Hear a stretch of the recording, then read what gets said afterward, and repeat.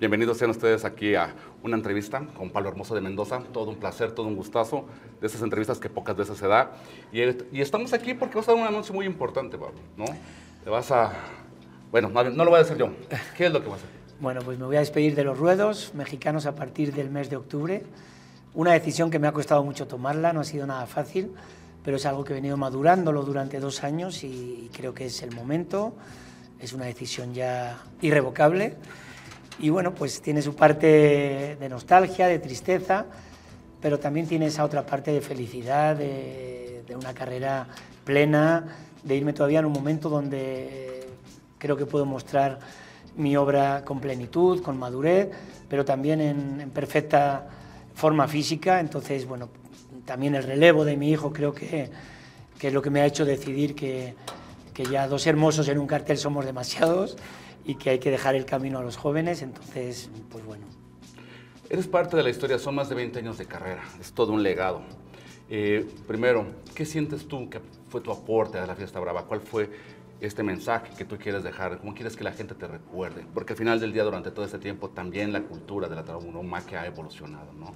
¿Cuál crees que ha sido tu aporte?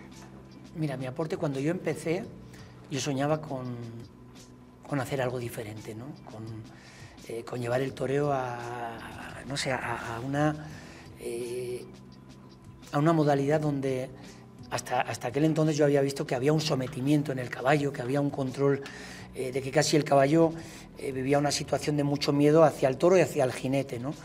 Yo como venía del mundo de, la doma, del mundo de, de la hípica, yo intenté adaptar esa equitación y que el caballo, todos sus movimientos, fueran con libertad, fueran por convencimiento, no por miedo.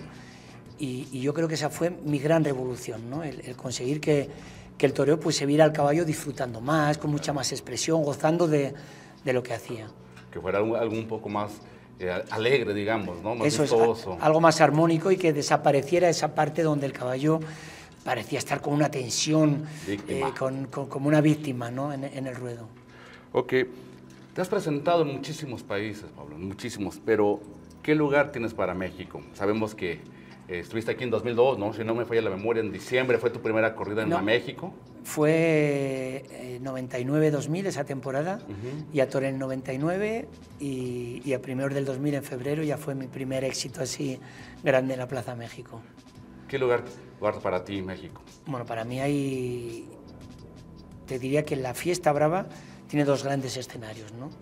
Europa, donde se junta eh, Francia, España y, Portugal, y luego México, eh, con una parte de, Sudamérica, pero México es el, gran escaparate de Latinoamérica. ¿no?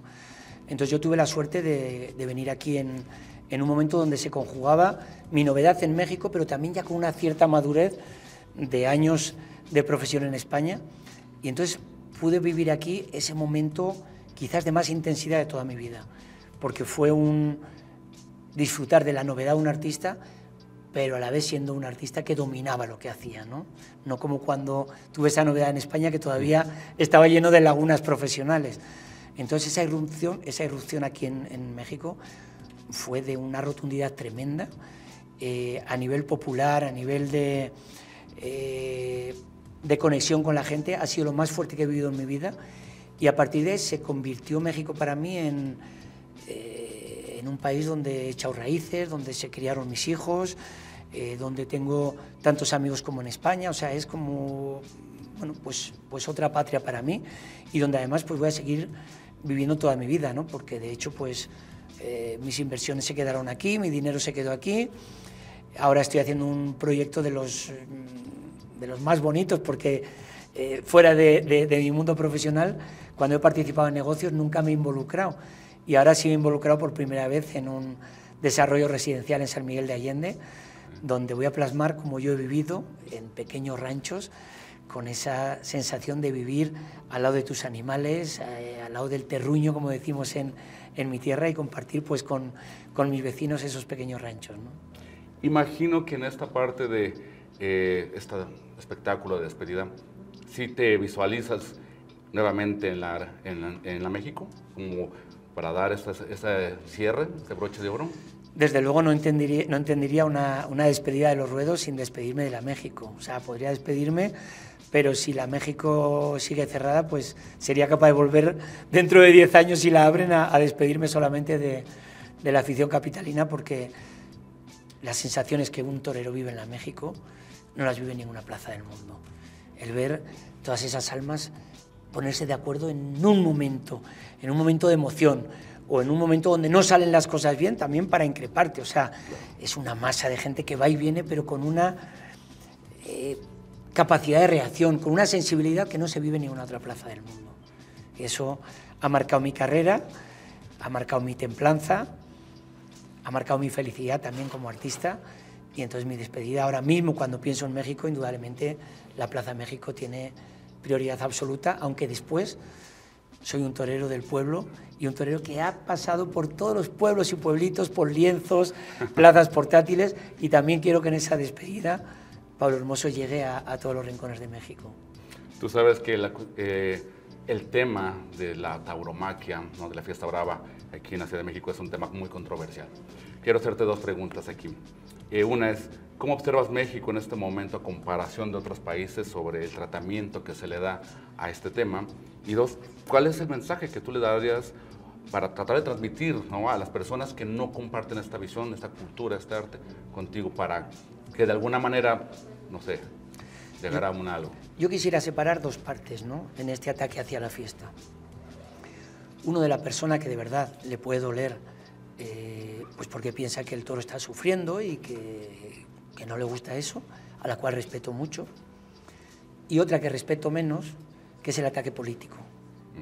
El ataque que lo que menos le preocupa es el toro, ni la fiesta brava, sino que es un tema de votos. Pues bueno, voy a ganar más votos porque en mi parte política parece que no gusta la fiesta y entonces hago un ataque contra la fiesta y me cargo una parte cultural, una parte profesional, una parte de puestos de trabajo, eh, de empleo, eh, me puedo cargar hasta la, vida y la asistencia del toro bravo, porque el toro bravo si se deja de lidiar va a desaparecer y solo por ganar votos. Esa parte sí que no la respeto, esa me repugna. Entonces, esa la quiero dejar a un lado y esa debería desaparecer. Y a la otra, a la otra sí le diría que conozca del toro, que conozca de la, fiesta, brava, que conozca de cómo vive el toro y cómo siente el toro. Y solo así podrá entender la fiesta y respetarla. Eh, en esta parte de que mencionas, ¿tú sí crees que esto que sucede en México, más bien, esto que mencionas sobre que puede ser un tema político y también este tema que es algo de una cuestión de, vamos a decir, protección animal, ¿es algo que solamente sucede en México o es algo que sucede en otras No, esto, es mundial y nos pasa en Francia, nos pasa en España, nos pasa en Portugal. Eh, simplemente que en los sitios donde, como en todo en la vida, eh, la economía de la fiesta está fuerte, pues nadie Claro. le apetece atacar. Donde ven que hay debilidad, como pasó en España en Barcelona, pues todos cargan contra esa parte más débil, ¿no?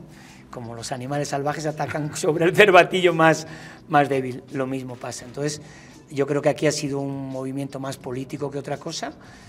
Y bueno, es muy triste también que tú dependas tu parte cultural, tu parte profesional, de quién va a ganar las elecciones, ¿no? Pero te digo aquí, te digo en España y inclusive en distintas regiones de España, ya, ya va por, por estados, ¿no?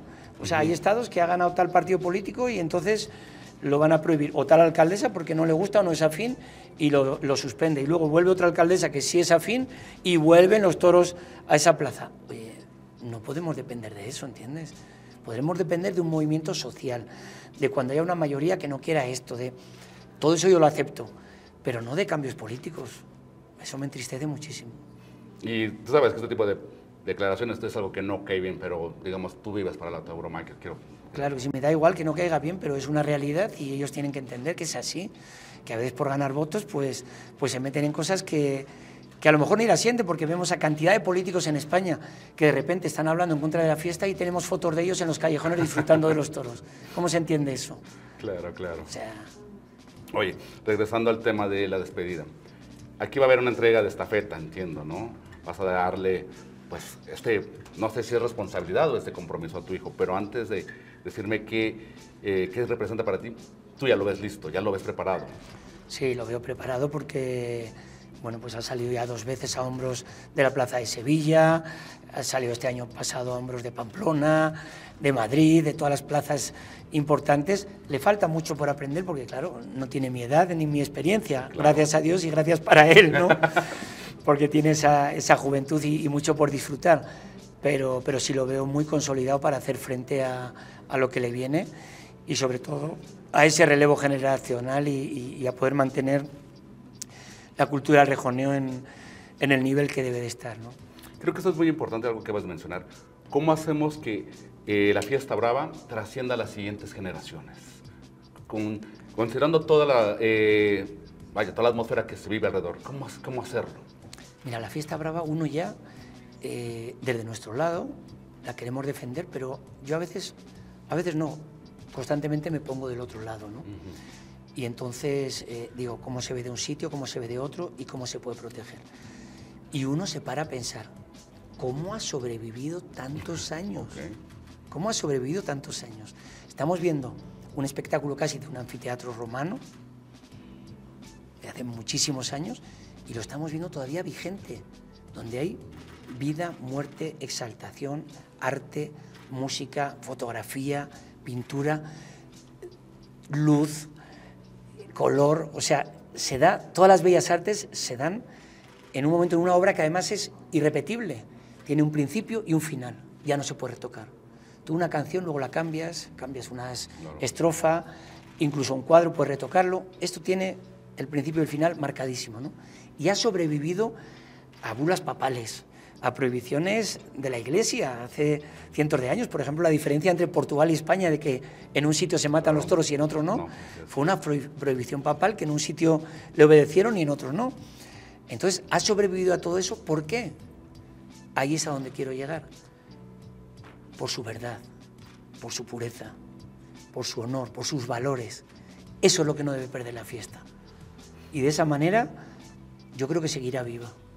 Te veo hablando con tanta pasión, se me pone la piel chinita y me pregunto, ¿cómo se hace para llegar a esta decisión después de tantos años de carrera decir, llegó el momento de despedirme? Mira, es algo que que viene desde muchos años, no siempre uno piensa cómo será el momento, cuándo será el momento, lo elegiré bien, me llegará porque me llegará, sin yo decidirlo. Entonces ha sido un conjunto de todas esas cosas y también un conjunto del parón obligatorio de la pandemia. Ha sido el primer año un parón absoluto de un año, desconexión de los ruedos, que no del caballo ni de la preparación, y entonces empecé a verme ese Pablo Hermoso fuera de los ruedos, ¿no? Y a decir cómo voy a llevar mi vida cuando, cuando quite todo esto. Yo, yo llevo desde mis 25 años y tengo 56 que no he vivido días de fiesta, navidades, o sea, yo he vivido todo a nivel profesional, con la vorágine, con el miedo, con todo eso, ¿no? Entonces, ¿cómo me voy a ver cuando quite todo esto? ¿Me voy allá? Y entonces he trabajado un poquito estos años, ¿cómo voy a volver a recuperar el Pablo Hermoso? Persona, y quitar del medio al Pablo Hermoso artista, que absorbió totalmente a Pablo Hermoso persona. Es una persona que no he tenido hobbies, no he tenido vida porque no lo he necesitado, ¿eh? No me quejo.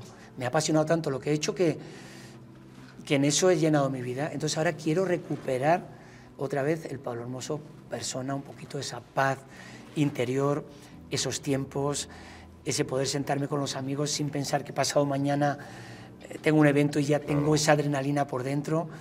Entonces la pandemia me ha ayudado un poquito también a, prepararme ¿no? para, para ese momento. ¿Vas a extrañar la adrenalina? Muchísimo. Espero que a través de mi hijo todavía pueda llenar esos, esos momentos y esas necesidades, pero, pero sí voy a extrañar mucho. Ya para despedirnos, Pablo, eh, ¿cuál sería el mensaje para toda la afición mexicana que te ha seguido durante tantos años? ¿no? Este, ¿Qué les puedes decir a ellos? Bueno, a todo México le quiero decir que que tengo gratitud, una gratitud inmensa, que, que me voy pleno de esta profesión, pero gracias a ellos, gracias a su apoyo, gracias al cariño, ellos son los que me han hecho salir del agujero, salir de los momentos difíciles cuando ya me veía muchas veces sin fuerzas en la temporada, porque de eso no hablamos nunca, pero hay muchos momentos, momentos depresivos, momentos que, que nada te hace feliz, y solamente su cariño, su apoyo son los que me han hecho echar siempre para adelante. Por lo tanto, todo lo que voy a vivir en esta vida, en, perdón, en esta despedida, quiero que sea para ustedes, para su placer, para su disfrute. Pablo, muchísimas gracias por tu tiempo. Un placer. Pocas veces en la vida uno tiene estos privilegios. Muchas gracias por tu tiempo. A ustedes. Amigos de Sport, aquí con nosotros Pablo Hermoso de Mendoza. Muchísimas gracias.